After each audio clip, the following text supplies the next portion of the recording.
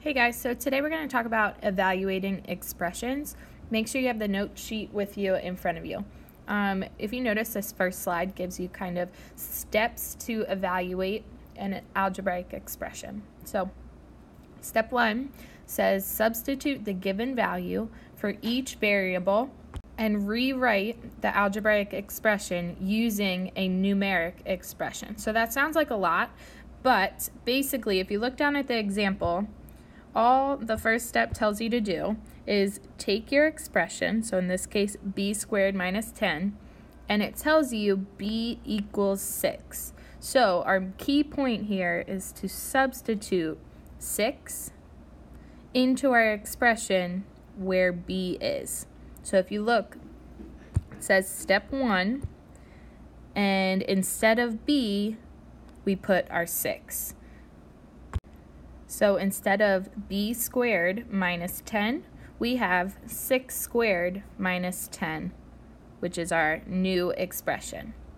Now step 2 says simplify following order of operations. Remember we talked about order of operations was PEMDAS, so parentheses, exponents, multiplication, division, addition, and subtraction. So we don't have any parentheses, so we can skip that.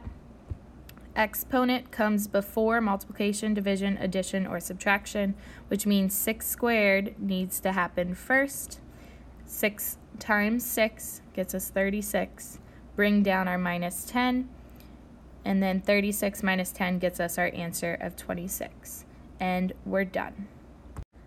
All right, here are our next two problems. The first one says 6, and then in parentheses, y squared plus 2 if y equals 2. So step 1 is to substitute 2 into our expression where y is. So we bring everything else with us. So 6 parentheses instead of y, I put my 2, bring my exponent, my plus sign, 2, and my parentheses. And then we follow order of operations. So PEMDAS parentheses but then inside my parentheses, I have an exponent and an addition sign. Exponent comes first, so bring down everything else. 2 squared is 2 times 2, which gets me 4. Bring down plus 2. Now, I still have to work inside my parentheses before I can do anything else. So 4 plus 2 is 6. Bring down everything. Now remember, parentheses stands for multiplication. So in this problem, 6 times 6 would give me an answer of 36. And we're done. Go ahead and try this second problem on your own and then check back with the video to check your answer. Okay, so hopefully you're done. Number two gives us the problem n over 2 plus 2 when n equals 4. So first step is to substitute 4 for where the n is. So we have 4 over 2 plus 2. Now remember the fraction bar stands for division. Division comes before addition. So 4 divided by 2 is 2. Bring down our plus 2.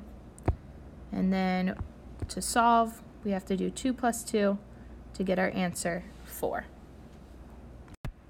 The next two problems are a little bit more difficult, but they're still following the same steps. So in this case, we have 12 over n plus 3 m.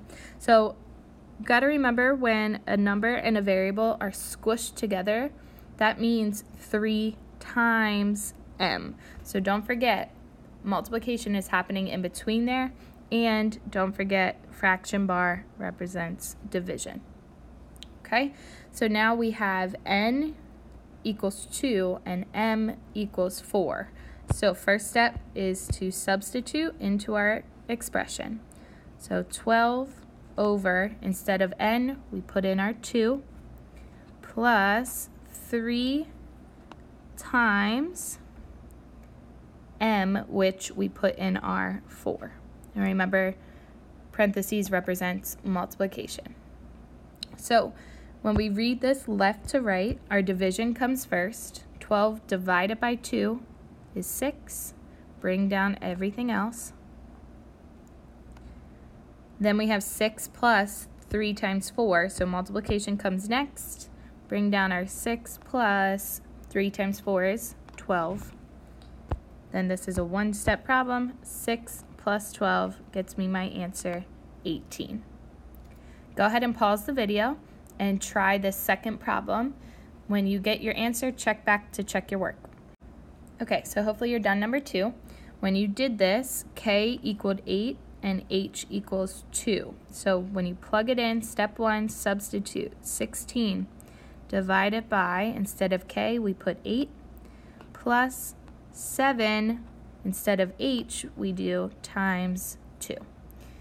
Again, when we read it from left to right, this division comes first. So 16 divided by 8 is 2. Bring down everything else. Then we have multiplication and addition. Multiplication comes first. So bring down 2 plus 7 times 2 is 14. Final answer, 2 plus 14 should have gotten you 16. So this next problem starts with a word problem and it tells us to use the formula d equals r times t. So distance equals rate times time. Okay, so keep that in mind when we go to our word problem. It says Shelly drove 35 miles per hour for three hours. How far did she drive? So in this case, we have t, our time, equaled three hours and we have our rate, our average speed was 35 miles per hour. So we're looking for our distance. We can use those numbers to plug it back into our equation. So distance equals rate, which was 35, times time, which was 3. When I do 35 times 3, 5 times 3 is 15, 3 times 3 is 9, plus 1 is 10. So my distance equals 105, and our units should be miles. Done. Okay, on the back, now we have a rectangle, and they give us a formula again. So I'm going to rewrite the formula down so I have more room. They tell us we're trying to find the perimeter, and to do that, we have to do 2 times our length, L, plus 2 times our width, W. Okay, so in the end, we're trying to find perimeter. Now, if we look at the rectangle, they gave us our length and our width. In this problem, our length, our L, is 8 and our width, W, is 3. We can use those two numbers and plug them into our equation to solve for perimeter. So we're following the same two steps again. Substitute our numbers in to where our variables are. So our first 2 times our length, which was 8, plus 2 times our width, which was 3. We have to read this from left to right. So 2 times 8 is 16. Bring down everything else. We have addition and we have multiplication. So multiplication comes first. Bring down our 16 plus 2 times 3, which is 6.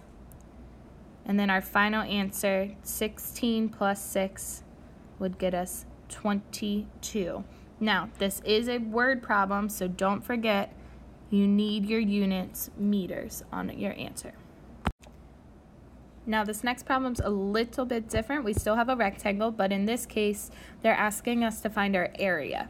So we use the formula, area equals length times width. So A is area, L is length, W is width. Again, our rectangle gives us our length so L was 7.1 and our width is 2.2.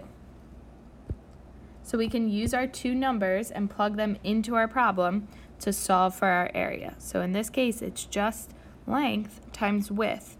We know that because length and width, the L and the W are squished together, so that means we need to multiply.